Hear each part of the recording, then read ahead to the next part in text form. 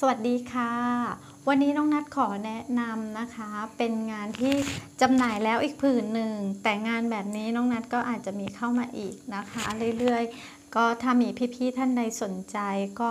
ทักไว้ได้ค่ะ ขออนุญาตแนะนำนะคะ งานเนื้อแบบนี้นะคะว่าความสวยความงามของผ้าไหมสุรินผืนนี้มีอะไรบ้าง ผืนนี้เป็นงานผ้าไหมสุรินสามตะกอทอเหยียบหอกเนื้อผ้าจะมีลายลูกแก้วเล็ก ๆ ในเนื้อผ้านะคะ เดี๋ยว อีกสักครู่นะจะพาไปซูมให้ชมค่ะ ขนาดผ้า1คูณ2เมตรค่ะ ทอแน่นฟืม 50 เป็นเนื้อไหมดีเคนะคะ ผ้านุ่มพริ้ว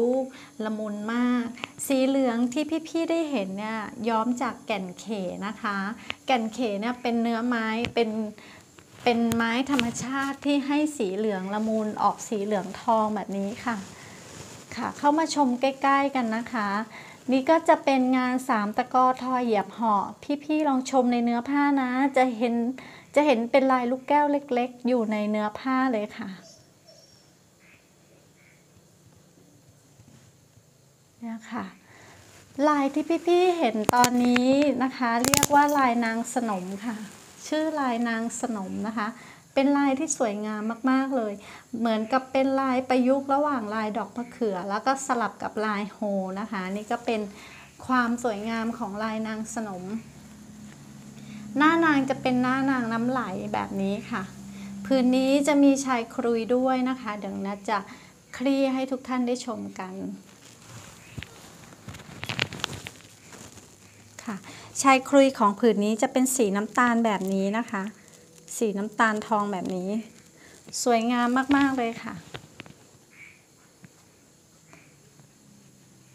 สามารถนำไปเป็นผ้าสิ้น ผ้าคลุมไหล่ผ้าสบายนะคะ ผ้าสบายหรือว่า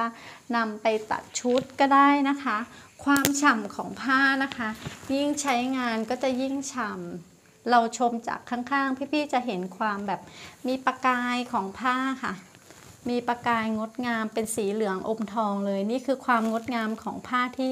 ย้อมด้วยสีธรรมชาติ ทั้งเส้นพุ่งและเส้นยืนนะคะ ผ้านุ่มผิวเงางามมาก ๆ เลยค่ะ ฝากความสวยงามของผ้าไหมสุรินไว้ในอ้อมอกอ้อมใจนะคะสำหรับพี่ ๆ ที่เข้ามาชมครั้งแรก ฝากกดไลค์นะคะ กด Subscribe กดติดตามเพจเพิ่มรักไหมไทย หรือช่องเพิ่มรักไหมไทยไว้ด้วยนะคะ น้องนัดก็จะนำผ้าไหมสวยๆแบบนี้มาให้ชมค่ะ